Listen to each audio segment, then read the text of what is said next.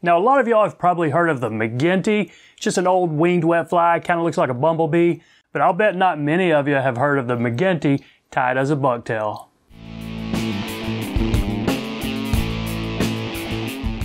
Hello everybody, welcome back. I'm Matt, thanks for stopping by. So I figured it was time to do another pattern from John Shewey's classic steelhead flies. I was flipping through this earlier today, came across one called the McGinty bucktail. Now, there's not a whole lot of history on this. We do know the original McGinty, uh, the fly that looks like a bumblebee. It's been around since probably the turn of the century. It was pretty popular in the, the teens and the 20s, but it was also one of the early flies that made its way out west in the Pacific Northwest as a steelhead pattern. Seems a lot of the steelheaders just tied a bucktail onto all kinds of things. You had the royal coachman and various stoneflies. They just put a, a big hair wing on it and called it a steelhead fly. So that's what they did with this one. Just tie a McGinty in a bigger size and put a big old squirrel tail wing on it. And we don't really know who did this or who was kind of credited with creating it, but it was pretty popular throughout the 20s and 30s. And like the original McGinty, it's kind of fallen out of favor. And I mean, you won't go into many fly shops today and find a, a bin of them, but it's still in plenty of books. So I'm sure a few of you out there have tied it. Maybe some of you still fish it. But it is a pretty cool looking pattern. I think you're going to like it. Let's give it a shot. So there's my hook. That's a number six salmon fly hook. So we're going to tie this as a steelhead fly. And I'm going to put a base down of black 70 denier thread. I should have probably gone up to 140, but this will work.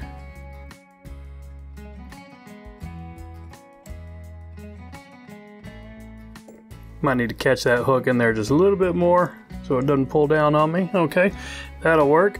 Now for the tail, just some hackle fibers, red, a good clump of them. I'm gonna grab about 15 or so.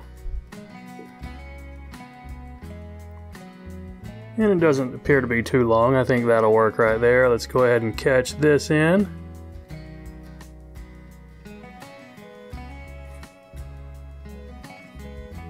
Okay, I think that's gonna work. Now either bury that or go ahead and snip it. I'm just going to snip it because we've got a big thick chenille body. We don't have to worry about any lumps. And the first color we're going to catch in is yellow. So just a medium chenille on this size hook. You can, you know, strip some of it off and get down to your thread core if you want. It's probably not that big a deal in, in this particular fly. But we're to do, envision the body of the fly. Um, a third of it is to be yellow, then the middle third will be black, and then the front third yellow again. Kind of like the old classic McGinty wet fly, old winged wet fly. So I think three wraps right there. Should I go one more? Nah, don't want to get greedy. Let's catch this off right here. Couple of wraps and then snip this. Keep this piece out. We're going to use it in just a second. So a couple extra wraps right there. Now same thing with the black piece. And I'm going to do the same thing, just strip a little bit off the end and catch in by the thread.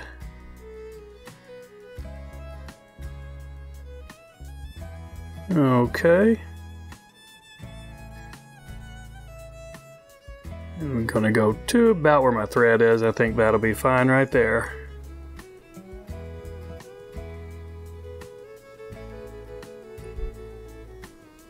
Okay, I think that was also three wraps.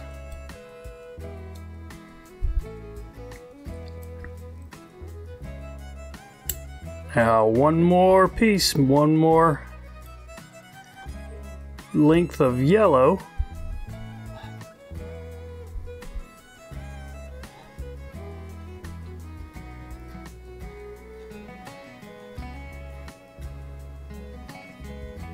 Okay, I think that's going to work right there. Let's catch that one off. Now just a couple more components. We've got a brown saddle hackle, tied pretty sparse, but actually pretty long. So this is going to be, we're going to wrap this as a collar and then kind of sweep it back before we put our wing on. So I'll just create a little tie-in point like this right here And this is pretty cheap stuff. It might take me five or six wraps to even get a sparse hackle. So I'm gonna fold that back over and really lock it in. Now snip this tip off.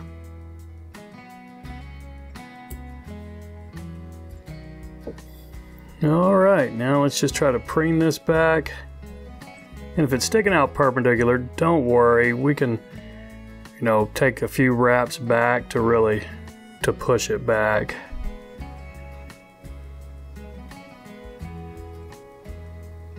I think that was four, and that's, we're gonna make that be enough. So let's go ahead and catch this off with a couple of tight wraps.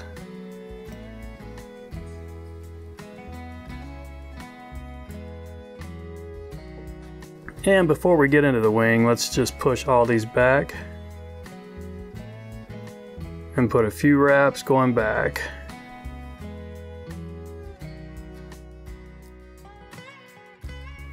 And I'm kind of using, putting a few extra wraps down right here to create a base where I can have a, a semi-flat spot to put my wing.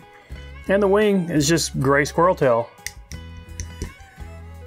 I do want, before I take it out of my stacker, let's wax this because squirrel tail is pretty slippery. I got this stack and let's see how well it did. Okay, I think that's going to be pretty, pretty uh, even on the tips. Just going to catch it in about like that. That might be a little bit more than I want. So I'm going to grab the tips and then just try to thin a little bit of it out. Okay, I think that's going to work right there. Get your length probably to the bend of the hook, not so far back as the, the red tail. My thread's hanging at the back of my head. That's going to be my where I catch the first wrap in. And now you could do what we do sometimes with bucktail and put one wrap just around the, yeah, let's do that. Let's put one wrap just around the squirrel and now around the, the squirrel tail and the hook. And that, if you do that right, it will keep it from spinning around on you.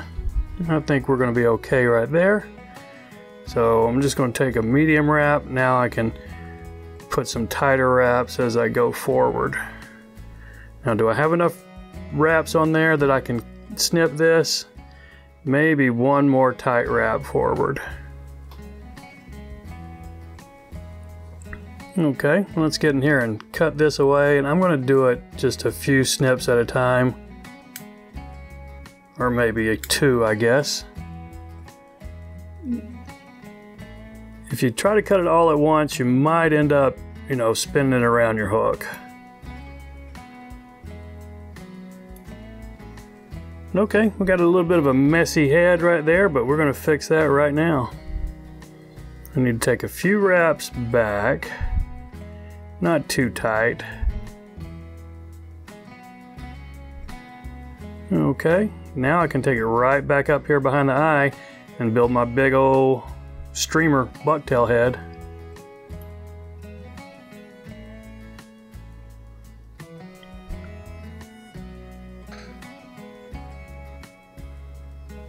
And that's big enough head. I didn't cover everything, but I don't need to make it any bigger. So let's go ahead and whip finish this. And before we're done, let's critique this one. All right, that head's a little bit clunky, a little bit big. And um, yeah, I think the length of that wing is okay. Might look a little bit better if it was laying a little flatter, but the only way to do that would have been to build a bigger base underneath it. Uh, but I think this is a fine drop of head cement, and this guy's a fishable fly. So that's it, everybody. The McGinty bucktail.